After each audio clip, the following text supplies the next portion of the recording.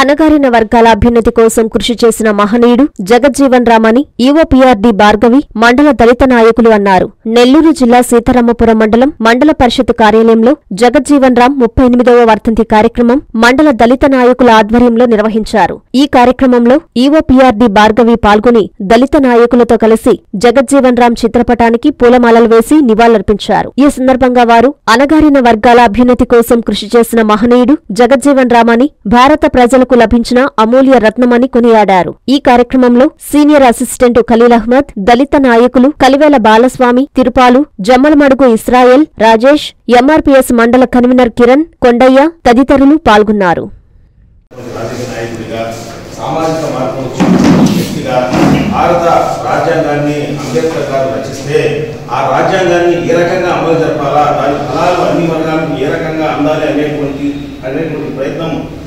కానీ తర్వాత పోతే రాజకీయాలు రావడం కానీ ఆ తర్వాత కాంగ్రెస్ పార్టీలో తర్వాత పోతే జనతాదళ పార్టీలో ఉపముఖ్యంగా ఎదగడం కానీ ఆయన యొక్క రాజకీయ జీవితం చూసుకున్నట్టయితే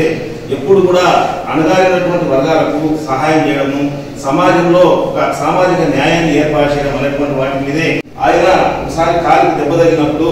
ఆ కాలు బాగు చేసుకుంటే మరి ఆయన ఈ రాజకీయాలు రాజకీయాల్లో పాల్గొ పాల్గొనకుండా ఉండాల్సి వస్తుందని దాంతో ఆయన జీవితాంతం కూడా ఒక కాలు కొద్దిగా కుంగితనంగానే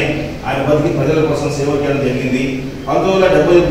రక్షణ శాఖ మంత్రిగా ఉండి రష్యాతో బాగా చర్చలు చెప్పి ఆ అమెరికా యొక్క థ్రెట్ను కూడా అంటే అమెరికా పాకిస్తాన్కు సపోర్ట్గా వస్తుంది అన్నప్పుడు కూడా రష్యా భారతదేశానికి స్వతంత్రం రాకపోవడమే రాజ్యాంగ రచనా సంఘం రాజ్యాంగ పరిషత్ ఏర్పడినప్పుడు ఆ రోజు నుంచి దాంట్లో మెంబర్గా ఉండి ఆయన చనిపోయే వరకు కూడా ఆయన పార్లమెంట్లో రాజ్యసభలో అట్లా కాకపోతే భారతదేశానికి మొత్తం మొట్టమొదటి దళిత ప్రధానమంత్రి కూడా కాబట్టి ఈ యొక్క జీవితం అనేటువంటిది ఆరు తరాలకు మనకందరికీ కూడా స్ఫూర్తిదాయకంగా ఉండాలని చెప్పేసి నేను మీ అందరికీ చెబుతూ ఈరోజు ఆయన వర్ధంతి సందర్భంగా నాకు అవకాశం కల్పించిన మీ అందరికీ ధన్యవాదాలు